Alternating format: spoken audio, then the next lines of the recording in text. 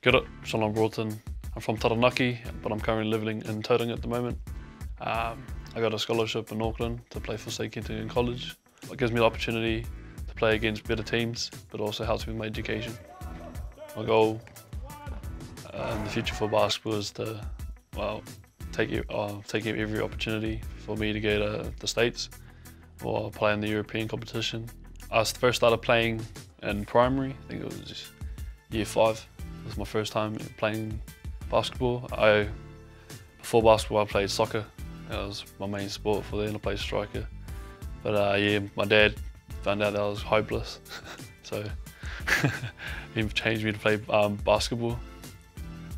One of the basketball players that I idolise at the moment is probably Steven Adams, just because he's from New Zealand and he shows us that no matter where you're from, you can make it no matter how hard it is. But yeah, um, he's definitely inspiration for many people like me who want to go places. But yeah, so six years ago, my parents split up for about four years, but in the four years, I was angry, upset, but yeah, I reckon basketball gave me the courage for me to work harder.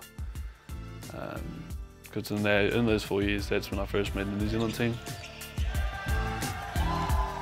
Play for the New Zealand under 17 basketball team, where we recently just qualified third to make world champs in Argentina. Funding is definitely a key for us to get places that we want to be. Any financial um, investments will be much appreciated.